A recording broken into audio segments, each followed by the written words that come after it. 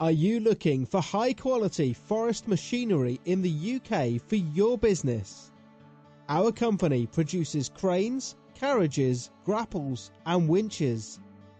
Based on 60 years of Swedish engineering, Weimer Forest cranes and carriages are designed for professional use. They combine the latest technology, hydraulic components, and materials of the highest quality. Weimer products are well known for their lightweight design, extreme strength, as well as for their durance and low maintenance need.